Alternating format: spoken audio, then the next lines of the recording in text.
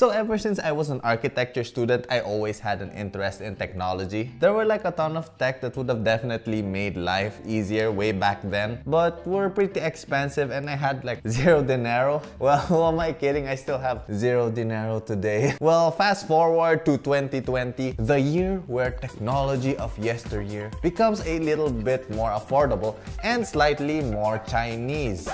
What? Anyways, welcome to my top 5 gadgets for architecture.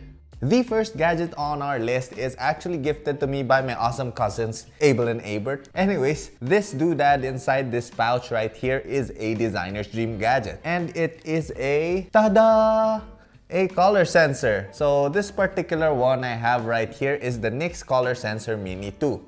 So basically what this color sensor does is it allows me to scan any object and determine the hex code and sRGB numbers for the specific color of that object I scan. So for example, I could just scan an object with a color I like and bam! That color is automatically saved on my phone along with the various color codes you need to input on your 3D modeling software or you know, whatever design software you're using. So another cool thing I love about the Nix app is that if you click the painter's palette icon on the top right, it will show you the various color harmonies of your scans. So if I want to see the complementary colors of this table, all I have to do is scan it with the Nix Mini 2 and then go to the app and check the complementary colors. And bingo malingo, you are now a color master. So not only does it have complementary color harmonies, it also has other color harmonies like monochromatic, analogous, split complementary, etc. So if you guys are someone like me who struggles with color combinations, this color sensor is definitely a must-have for you guys. So at the time of recording, this color sensor will set you guys back about 100 bucks. And for that 100 bucks, you get this nifty diamond-shaped sensor itself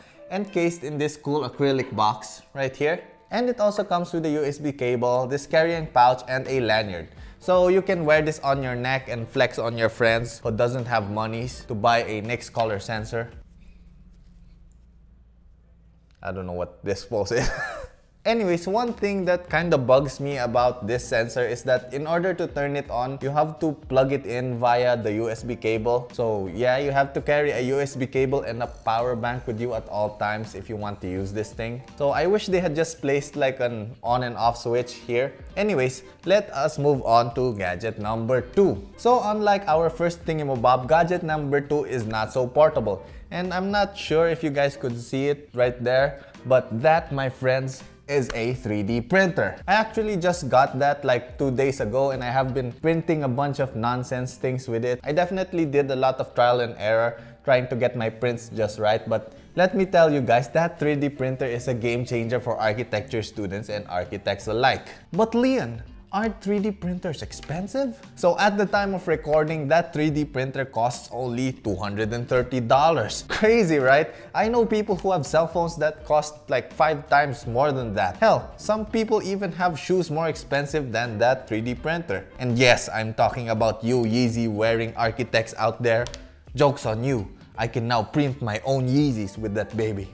Jokes aside, your imagination is the limit with 3D printers. You can print out scale models like the one I have right here. So the process to print your own scale models is super simple. Just use SketchUp or any 3D software to make your 3D models then just export it as an STL file and slice it with some proprietary 3D printing software. Then after that, just save it into a micro SD card, slot that into your 3D printer and just hit print. This thing would have been real nice back when I was an architecture student. No more sleepless nights doing scale models. I could just print my models with this running as I sleep. So I wake up the next morning and my model is already done. Anyways, if you are someone who enjoys doing scale models manually, then this 3D printer might not be for you. But if you are someone like me who enjoys 3D modeling and creating things digitally, then this is a must buy for you. So the only downside to this is that it requires some initial assembly since the printer comes disassembled but assembling it is as easy as building some Lego sets. But aside from that, I can honestly say that I am super stoked to have a 3D printer and I can't wait to print more stuff. Welcome to the 21st century, my dudes. Moving on, the third piece of technology on my list fits in the realm of pocketable architecture gadgets. Is that an architecture gadget or are you just excited to see me? This, my friends, is not a Nokia 3310, it is a laser distance measurer. Or some call it a digital laser rangefinder, so just call it whatever sounds cooler. Its name is pretty self-explanatory. It is a measuring device that uses a laser to gauge distances. I got this one for about $15, which is about the price of a high quality tape measure. Okay, so this works pretty simple. So you just click on this red button right here and it projects a laser dot from this top hole right here. So whatever surface that laser dot is at is where this gadget will take its measurement from. So let's say I want to measure the distance of the ceiling to the top of my head. So we will just place this thing on my head and point the laser to the ceiling. Now just click on this red button again to measure. And BAM! Witchcraft! So for those of you wondering, the ceiling is about 1.4 meters from my head. So there you go. Now this specific model of laser measure mabob has different functions. So you can add or subtract different measurements and you can change the unit of your measurement and you can even change the zero reference point from either the top of the device or the bottom of the device. Which by the way are very useful features but the one feature that I love the most about this one is the removable batteries right there. Okay, Story time, my dudes. So about two years ago, I bought a branded laser mabob. It's Bosch. I think it was about $120 for that one. And after 3 months of normal use, the batteries on that Bosch laser thingy just decided to die on me. So the bad thing is that that Bosch laser mabob had some built-in batteries. So there's no way I could have fixed the battery issue. Long story short, I sent it back to Bosch for repair and when I finally got it back, which took like two months of waiting. Within a week of using it, the gosh darn thing broke again. Bash dang it! So yeah, here we are with a $15 laser distance measurer and I couldn't be more happier with my purchase. Although one feature that the Bosch Laser Mading Dong had and this one lacks is the angle measurement feature, which comes in handy sometimes but you know, I got an app for that on my phone. So yeah, Bosch if you're watching this, send me some free stuff. Anywho, moving on to the fourth gadget for architects. So this one I don't particularly have with me but I'm planning on buying one sometime in the near future and that is a cutter plotter. So for those of you who do not know what a cutter plotter is, it is basically a printer but instead of printing on paper, it cuts the paper. So this will come in super handy when prototyping some scale models. You can just cut out the wall in thin cardboard with the cutter plotter, tape them together and BAM! Instant scale models. But Llyan, if I already have a 3D printer, why would I need this? Well, black and white question, Llyan, I have one word to answer your question, and that is time. Saving. Dang it. Okay, so with this cutter plotter, you can cut out designs so much faster than using a 3D printer. So you can use the cutter plotter to prototype some wall shapes, then later on print your final designs on that 3D printer. So this gadget actually complements the 3D printer pretty well. So you can cut some stickers which you can then apply onto your 3D printed models. And you know, there's so much I want to do with the cutter plotter once I get my hands on one. Sky's the limit, young saplings.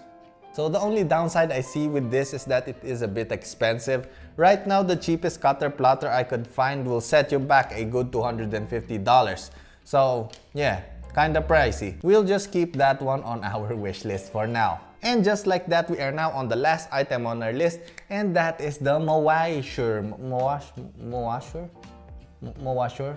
It's like Moana's lost brother, Mo So anyways, this Mowasher gadget just like our previous gadget, I do not have it with me right now because it's kind of expensive. So everything I'm about to discuss is just what I see from the videos and their website. So basically what a Mowasher is, is it is a motion-based measurement tool that allows you to track this measuring tape looking thingy-mabob via an application. So you take the Mowasher and basically use it to outline the place you want to measure and it plots out the areas that you have outlined, then inputs that data to your cell phone app and bam! You now have a DXF file that you can edit in your CAD programs. So I can see that this will be very useful for plotting out as-built structures or even for estimating weird shaped areas. So according to their website, you can use this to measure 3D volumes, irregular 2D areas, distance of inclines and angles between surfaces, which I'ma tell you guys right now, those are some of the hardest things to measure with just some regular tape measure and quick maths. So yeah, if what they say is true, then this Mowasher will be a lifesaver.